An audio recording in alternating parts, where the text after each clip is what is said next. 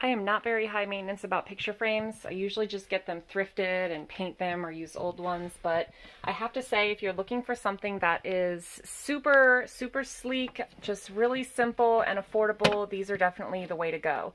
I got a two pack and I have them here and here. One I have a picture of my daughter in, the other one this beautiful piece of art that um, one of my friends made. So I think these are a really effective way to display things in a non-gaudy picture frame way.